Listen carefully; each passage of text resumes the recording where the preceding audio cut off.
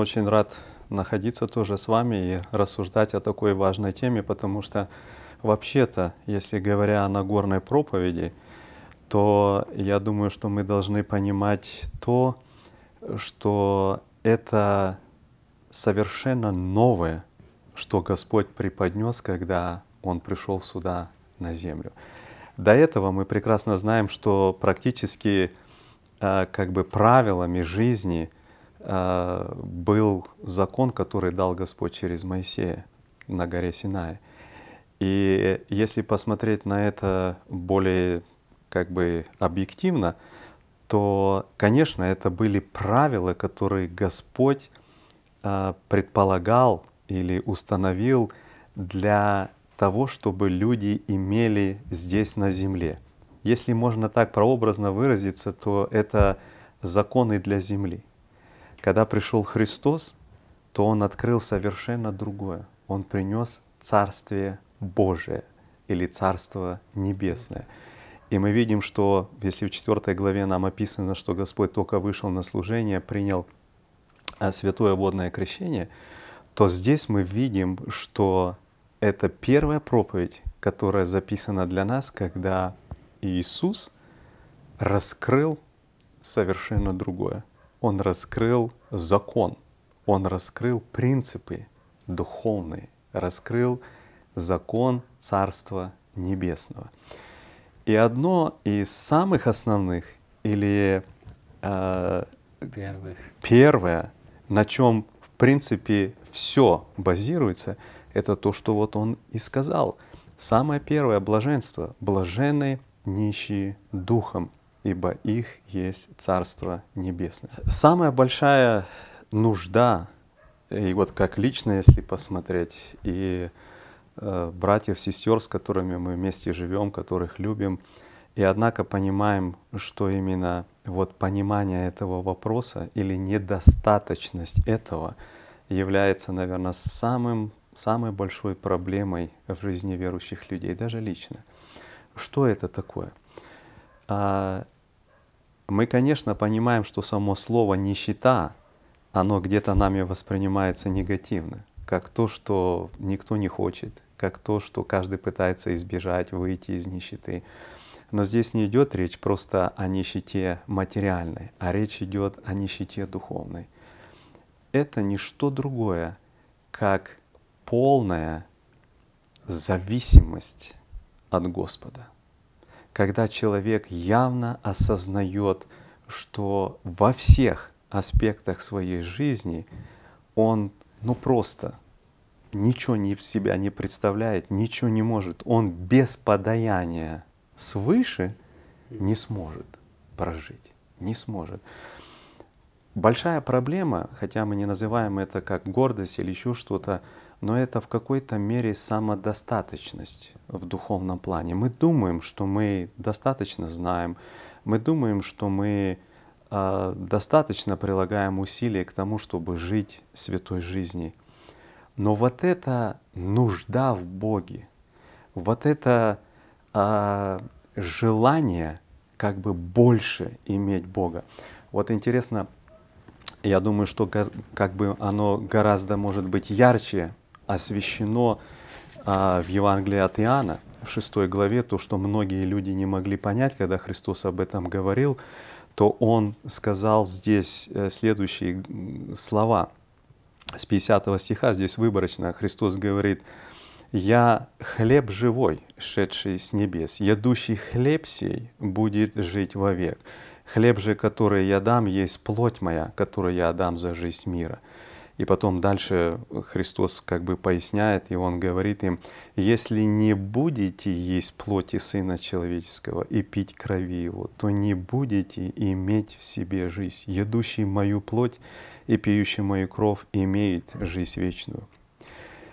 Мы знаем, что многие из учеников, слыша то, говорили, что странные слова, и написано, что они отошли и больше не ходили с ним. Они не могли это даже уразуметь.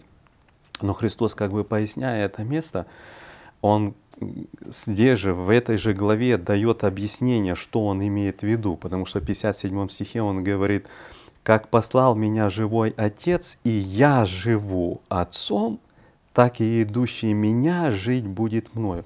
То есть он явно показал о том, что он в своей жизни, если приложить к его словам, ел Отца. Он говорит, я живу, говорит Отцом. Так говорит, кто будет, он прямо объясняет, кто будет есть меня, едущий меня, жить будет мною.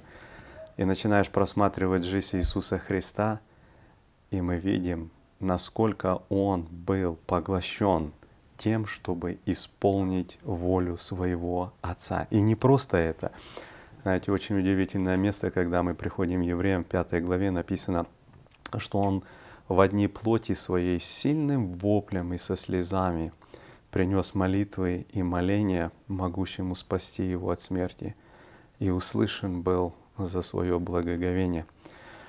Если мы вдумаемся в слова этого текста, то там написано, что это не разово. Часто люди думают, что здесь речь идет просто о молитве в Гефсиманском саду. Но там написано не в день какой-то, а в одни плоти, то есть на протяжении его жизни во плоти мы вдруг открываем, что происходило что-то удивительное. Мы читаем в Евангелии, что Христос часто уединялся, уходил, проводил ночи в молитве, рано вставал. И у нас представление, что, ну, наверное, как мы, Христос где-то вышел, помолился. Но это место нам открывает, что Он сильным воплем, со слезами. То есть в буквальном смысле Он кричал, плакал. О чем?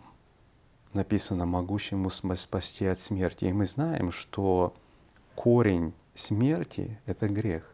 Если бы Иисус согрешил, то смерть возымела бы власть над ним. А нам написано, что над ним смерть не имела власти. Другими словами, он просил у Отца силы, чтобы во всем быть послушным Ему, до конца исполнить.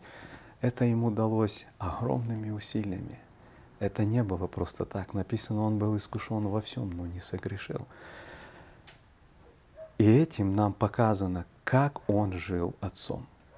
Какая у него была огромная нужда в том, чтобы вот отец давал ему силы, чтобы отец слышал, чтобы отец ему помогал, чтобы побороть все это – вы знаете, когда просматриваешь Священное Писание, то мы находим много примеров людей, которые были, как мы называем, великие мужи веры.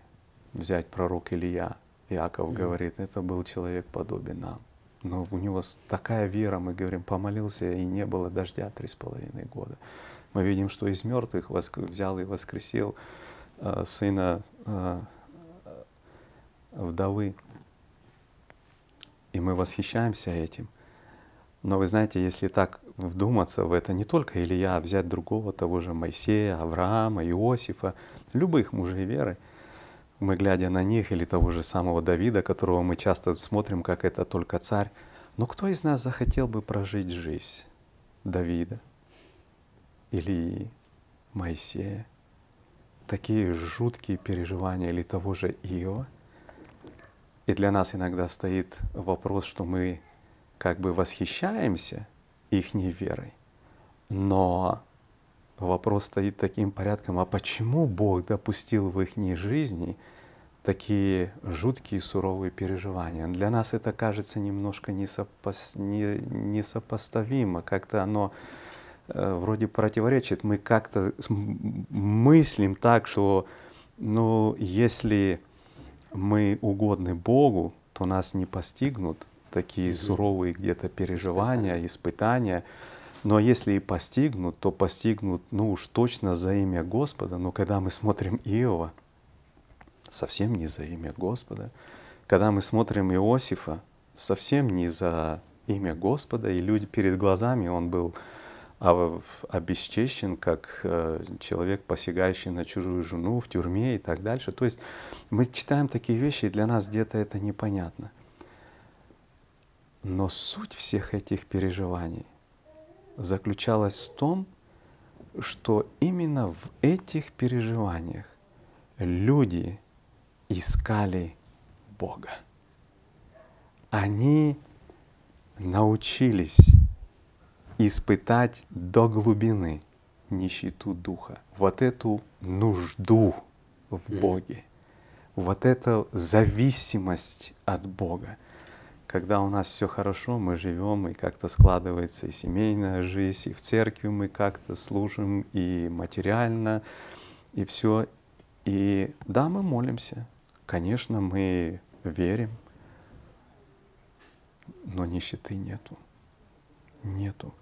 А нам Писание говорит, блажены нищие духом. Они, только они, действительно могут иметь вот Царствие Божие. Для них Царствие Божие. Когда мы смотрим в Писании многие такие примеры, когда даже от самого начала бытия, от сотворения мира, мы открываем пятую главу, где нам описана а, линия Каина, и параллельно говорится о том, что происходило по линии Сифа. И вот удивительно, читаем мы с четвертой главы, да, что вот э, у Каина родился сын, 17 стих, Енох. И вот удивительно, это еще практически-то второй от Адама, да, и построил он город, и назвал город по имени сына своего Енох. У Еноха родился Ират, а, и мы видим дальше эту линию, и мы здесь видим, что здесь начинается и многоженство, но наряду с этим мы видим, что а, развивается скотоводство очень успешно. Потом мы видим вот а, Иувал, что он был отец всех играющих на гуслях и свирелях, то есть это явно уже показана культура, развитие культуры, Город — это, естественно, связано э, с тем, что мы сегодня называем политика, управление и так дальше. Мы видим также Тувалкаин, который был ковачом орудий из меда, железа, то есть уже тяжелая индустрия и все. Mm-hmm. То есть мы видим такое сильное, быстрое развитие, как мы сегодня называем, цивилизации. Притом моментально, это вот второй человек от Адама уже строит город mm-hmm. и так дальше. И вдруг мы видим параллельно, что вот Адам еще родил сына Сиф, и 26 стих. У Сифа также родился сын, и он нарет ему имя Енос. И вот интересно слово написано, тогда начали призывать имя Господа. Посмотрите, какой контракт, э, контраст большой. С одной стороны, мы видим вот э, эту всю линию, все это развитие по, по Каину, и мы видим, что успешно, здорово, привлекательно. И тяжелая индустрия, и города, и культура, и скотоводство. Ну, все, что сегодня мы имеем практически, да, и действительно это очень привлекательно. Нам до конца не показано, что происходило по линии Сифа, но нам показано, что они стали призывать, звать имя Господа, нуждаться в Боге. И, конечно, сегодня по-человечески, если кому-то из нас вот так вот привести куда-то и показать одно и другое, то, конечно, наверное, мы бы выбрали оказаться лучше в этом угу. хорошем, укрепленном городе, где все так цветет, красиво, развито, много возможностей и так дальше, все, да.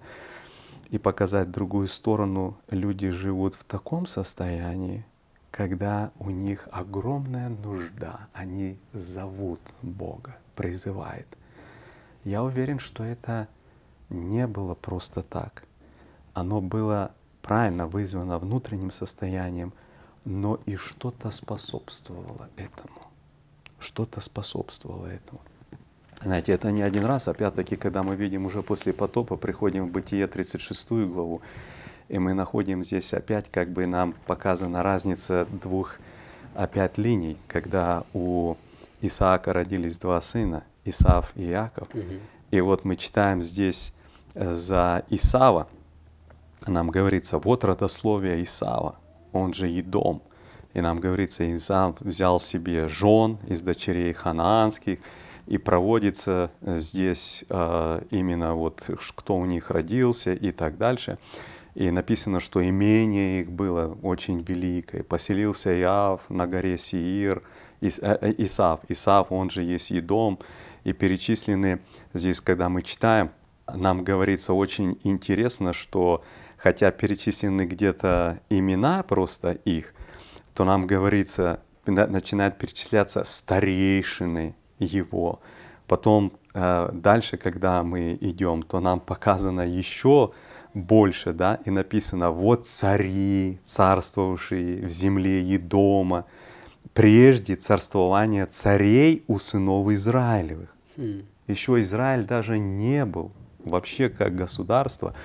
Нам тут перечислены у Исава уже цари, князья здесь показано и так дальше. Богатство такое, что ему надо было расселяться по другим местам и mm-hmm. все. То есть мы видим такое, вы знаете, как бы удивительное, да? И вдруг мы видим другую сторону. Его брат убегает,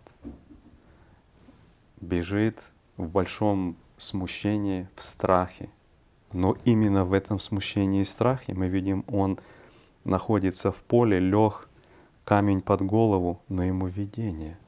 Мы видим эту лестницу, по которой сходят ангелы, у него разговор с Богом начинается попадает к Лавану, его там много обманывает, мы видим, что он тоже находится в уничижении, он сам ему говорит, я, говорит, работал и днем, и ночью, и все перенес, и стужу, и так дальше, да, то есть мы видим его такую нелегкую жизнь, но это еще не все.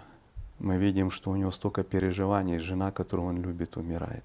Потом мы видим сына, которого он любит, не стало. Ему приходят дети и говорят, зверь растерзал его – и мы видим, что он до конца дней написано, не мог утешиться об этом. Потом мы видим, попадает он в Египет. И 430 лет заканчивается тяжким рабством. И когда мы сравниваем линию Исава и сравниваем линию Якова, то если нам сегодня кому-то предложить, то, наверное, безоговорочно каждый бы из нас захотел жить mm. в Едоме, нежели находиться по линии вот, Иакова. Но в чем вся суть? Именно по той линии сохранилась нищета духа. Они взывали к Богу. Господь говорит, я услышал вопль народа моего. Они нуждались в Боге. Mm-hmm. И мы видим, как Господь потом чудно все это делает, да? Почему я об этом все как бы привожу эти примеры? Сегодня для нас, когда мы живем в довольно-таки неплохих условиях, когда, понятно, у каждого у нас есть какие-то желания и с этим связанные переживания и так далее. Но, в общем-то, конечно, мы понимаем, что не, неплохо.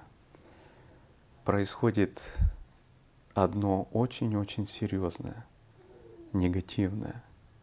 Это исчезает у народа Божьего нищета духа. Нету этой огромной, сильной нужды в Господе. Нету того, что Христос говорит, жить мною. Нету того, что Господь говорит, есть меня, мою плоть и мою кровь как вот пища, мы не можем без пищи mm. жить. Как бы вот он возводит это на такой уровень. А с этим связано, он говорит, кто не будет этого иметь, не может иметь жизни в себе. Нету. Поэтому это основа. И Господь говорит, как блажены те люди, которые в своей жизни действительно испытывают эту огромную нищету. Это очень удивительно, мы когда приходим в послании апостола Павла, во втором послании к Коринфянам, в 10 главе, он говорит очень удивительные а, слова. Мы читаем с третьего стиха, он говорит, «Ибо мы, ходя во плоти, не по плоти воинствуем. Оружие воинствования нашего не плотские, но сильные Богом на разрушение твердынь. Ими, то есть этими оружиями, не спровергаем замыслы и всякое превозношение, восстающее против познания Божия. Апостол Павел говорит, наша борьба заключается в том, чтобы разрушить любое твердыни, любое основание, и он говорит, это именно то, что в мыслях человека происходит, в его вот неспровергаем замысле, которое производит, как он здесь говорит, превозношение, которое, вот здесь он упоминает слово «восстающее», да, которое становится препятствием познания Бога. То есть любое осознание — это не просто мысль, а это как бы внутреннее понимание человека своей жизни, которое мешает человеку познать, приблизиться, искать Бога, как мы говорили, как бы прообразно есть Его, да? Павел говорит, это твердыни, которые должны быть разрушены. И Потому Господь часто в нашей жизни допускает очень суровые испытания для того, чтобы мы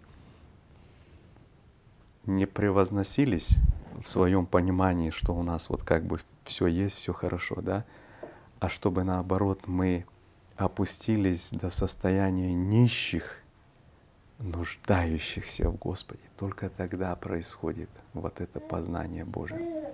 Поэтому это действительно является если так можно выразиться, самым, самым фундаментальным аспектом вот, а, в принципах духовной жизни.